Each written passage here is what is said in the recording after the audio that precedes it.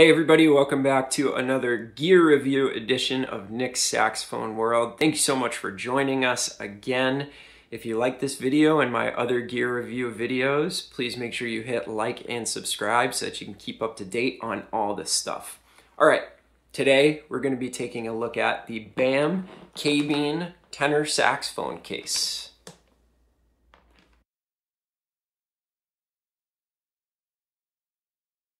So let me give you a little bit of a background onto why I bought this case before we take a close-up look at it and actually show you some of the features, go over some of the pros and cons of this particular saxophone case. As most of you know, I have an Ishimori Woodstone tenor saxophone and I love the horn and it came with a great GL case. Thing is awesome. Very, very protective a lot of room inside the case.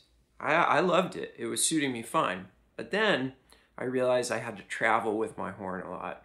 And the latest round of travel was actually going out to the NAMM conference in Los Angeles in January. And I realized that that GL case was just way too big to bring on a flight with me and not have to check the horn. Now, obviously, as we all know, being saxophone players, we never want to check our instruments. We never want to let our instruments out of our sight. So I decided that I had to get a smaller, rugged flight case for my instrument.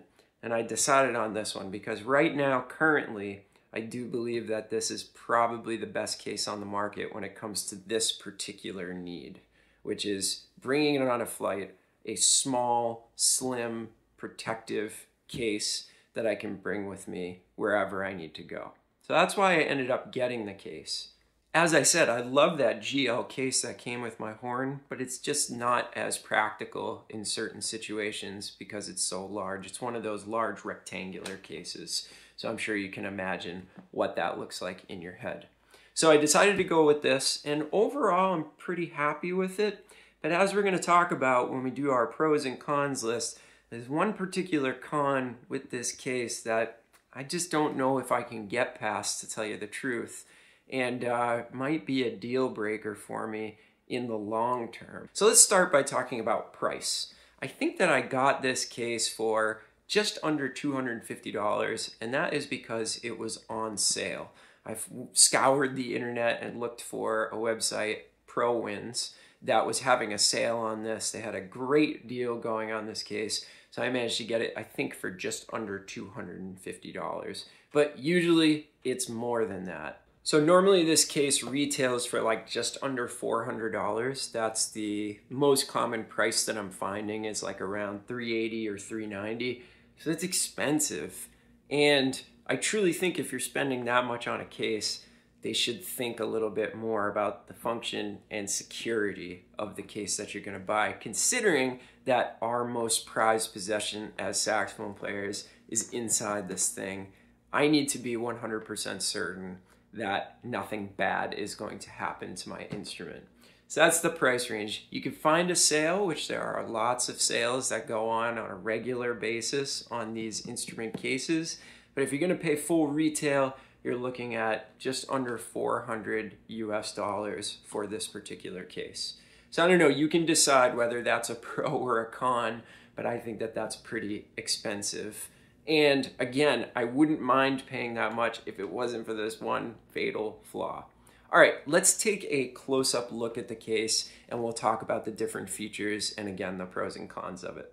So let's take a close-up look at this case. So you can see it is very, very formed to the tenor saxophone, meaning that it's not much bigger than the actual horn is, which makes this case fantastic for traveling and being in situations where you don't have a lot of space for the horn inside the case. Those big rectangular cases are just really bad for a lot of situations, including flying. So this is a really nice feature of it. You'll notice that the case stays protective while not being very big. And here's one major pro of this case that I really like is the actual material that they use inside the case. It gives a little bit, which gives the instrument on impact a little bit of give so that the horn doesn't bend. The actual body of the horn is not going to bend on you, but it's also rigid enough that you're not going to be afraid of the horn bouncing around inside. So you can see my cleaning cloth was in there and I'm going to talk about storage in a second because that's a major issue for this case. But it's very, very, very slimline and I do enjoy that. Doesn't take up a lot of space and the horn still fits very snugly. Now, after talking to a lot of my friends that have these cases, it's clear that a lot of different instruments will actually fit into this case. I have friends with vintage Selmers, those fit into this case very nicely. I have the Ishimori Woodstone, which fits into it very nicely, and I believe Yamaha's will fit in here as well. So you've got a lot of options, which is really nice. A lot of different horns will fit in here. And if you're somebody who owns multiple horns, that's going to be a huge plus for you because you could take one out, throw the other one in, and just kind of go for it. All right? So there's a plus. The second thing that I really, really like about this, this might be one of my favorite features of this, is this case has fantastic backpack straps. These backpack straps are awesome. So there's a carabiner system on the bottom and on the top, and this is really nice. I've never had one of these let go. They have a nice protective sleeve on the top, and these locks on the carabiners are really, really solid. I've never had one come off after tightening it down enough. And I love the backpack straps. That is something that I need on a case because I remember having this old case that was super heavy and when you had just the one shoulder strap, man, it would start to hurt your shoulder. And I love being able to just throw this on my back and go. Now, the other thing, because the case is so slimline, it's very light, which is really cool as well. So when I throw it on my back, I barely even notice that it's there. That's a huge plus. I also really like the material that they use for the outside. It's very, very rigid. You can see that mine is a little bit scuffed up at this point because I've been using it a lot. And uh, it's been thrown in and out of cars, in and out of planes. It's been brought to about, I don't know, a couple hundred gigs at this point, And it's holding up really, really nicely. So I do like the outer uh, material that they use, the shell that they use for this. And I do have to say, I feel confident about my instrument being in this case. I feel like it's protected, and that peace of mind is obviously huge. I've got my biggest investment as a musician in this case at all times, so it's really important to me that it's protected. So let me grab the horn and show you the fit. Here's my horn actually inside the case. You can see there's absolutely zero play in the horn. It fits so snugly inside this case. I love that. So I know there's not going to be any wiggling of my horn around in this case. And it's very, very protective. Again, one of the biggest things about certain case manufacturers is that the horn doesn't fit perfectly inside whatever molded material is in here. This one fits perfectly, so I cannot complain about that. Okay, now let's talk about some of the cons of this case, and there definitely are a few, unfortunately. Let's start with the storage space. Now, this is also one of the pros. We talked about how slimline the case is, how it doesn't take up a lot of space. That also doesn't leave a lot of space for equipment.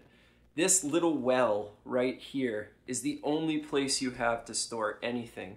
So I find what I can keep in there, my cleaning swab, and I can keep like a reed case. I use one of those D'Addario reed cases.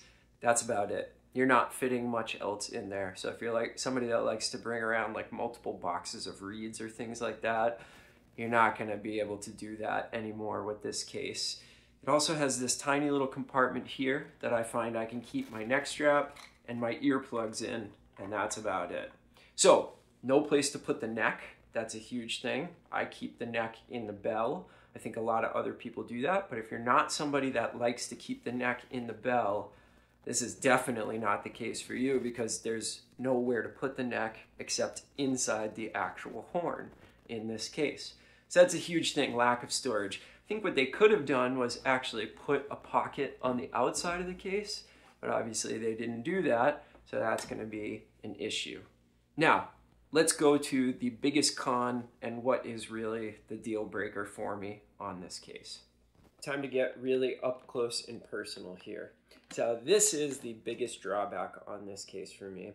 and is really the deal breaker. This is why I'm probably not going to own this case super long term and I'm going to go out and try to find something else. It's the latches. So the latches on this case are push button latches, meaning that you push the button and the latch opens, right?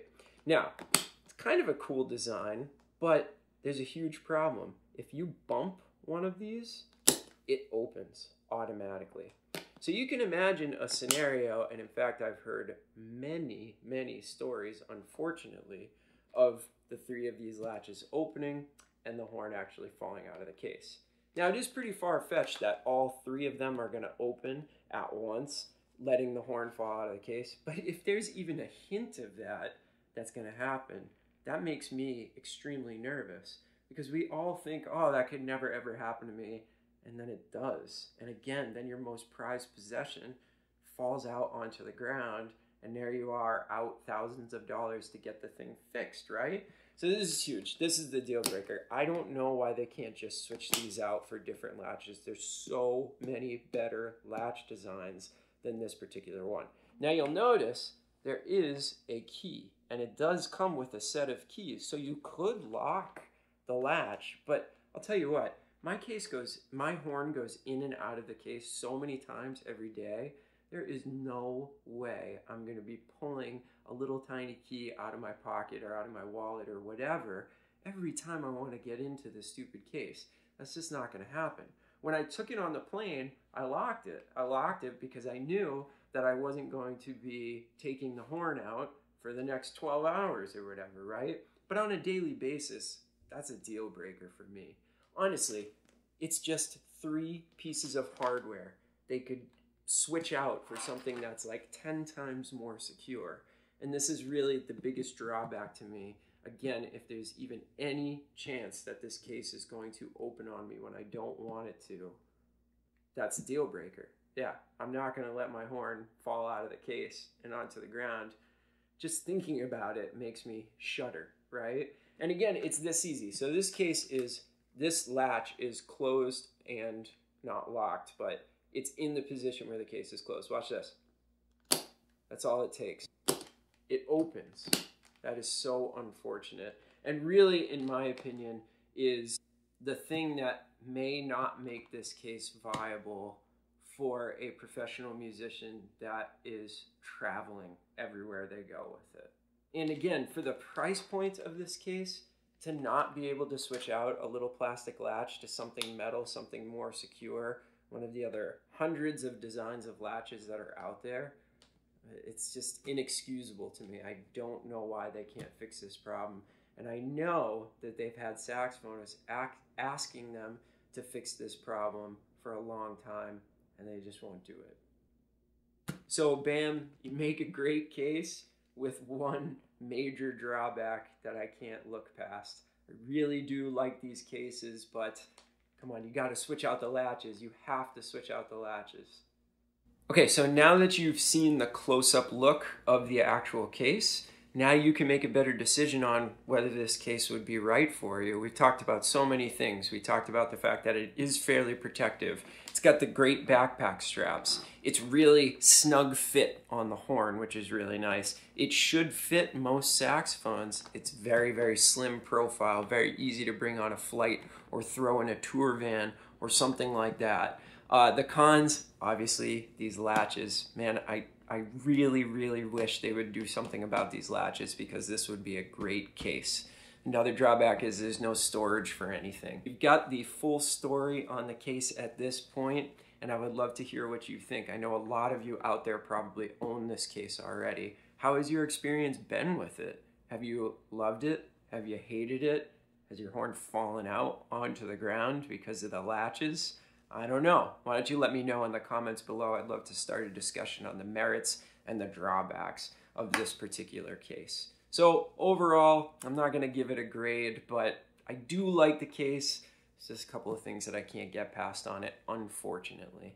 I will continue to use it until I find something better. And when I do find something better, you know that I will show you exactly what I'm using in place of this case. Thank you so much for watching. If you like these gear reviews, make sure you hit like and subscribe and give me some comments uh, on what you would like to see reviewed next. I want to do these for you guys, whatever products you are most wondering about. Those are the companies I can reach out to and get those products to bring them to you, do our close up look, do our product test, and let you know whether it would be a good investment or not.